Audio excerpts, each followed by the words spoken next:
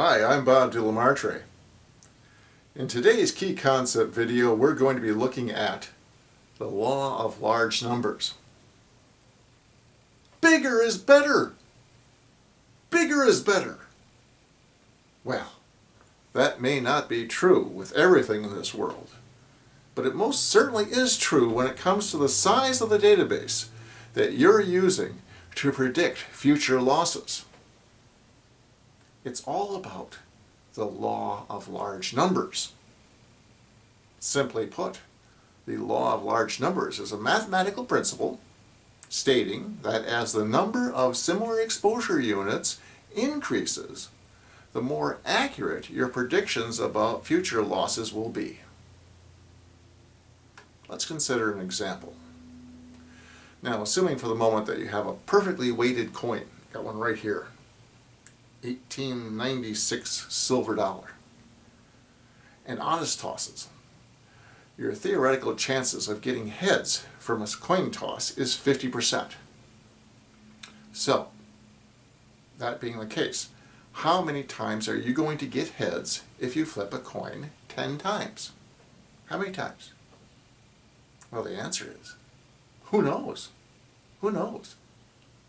Your sample number is just too small to be accurate. So, eh, tails that time. Eh, tails again. Well, here we got it heads. I mean, know, who knows? You know, with a small sample like 10 tosses, you know, you just don't know what your results are going to be. You may get any number between 0 and 10. For instance, you may get 10, uh, you may try 10 times and get heads 30% of the time, three times. That's what you call your empirical frequency. What you actually get is your empirical frequency. And of course, in this example, it's very inaccurate. Well, instead of flipping a coin a mere 10 times, what if we flip it 1,000 times or 10,000 times? The larger the number of empirical information that we have in our database, the more accurate will be our results. Any inaccuracy, any inaccuracy between the empirical frequency and the theoretical probability will decline as the sample size increases, as it gets larger and larger.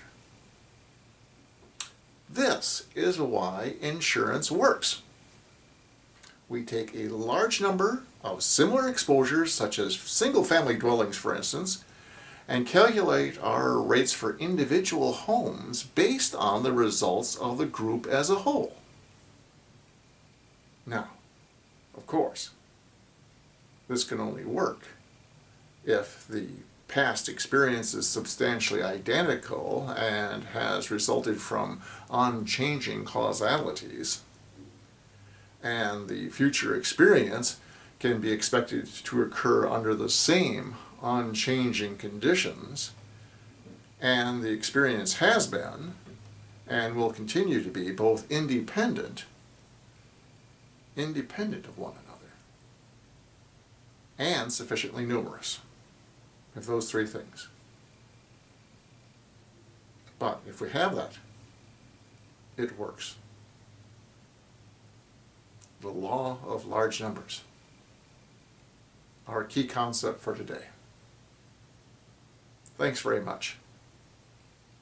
I'm Bob DeLaMartre.